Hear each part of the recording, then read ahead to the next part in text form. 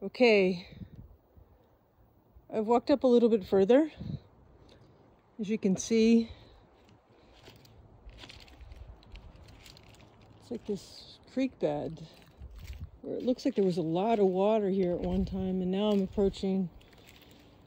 You know, I've been told that oracles usually lived near water and wells. I wonder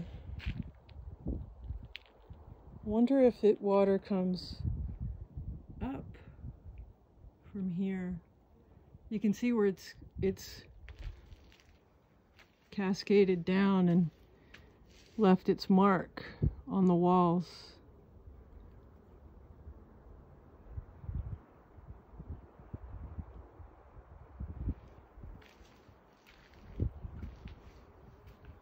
This feels uh, very special and sacred.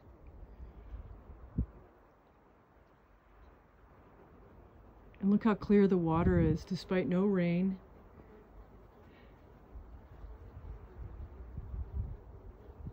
I would assume animals come here. There's a lot of bees. I see a feather here.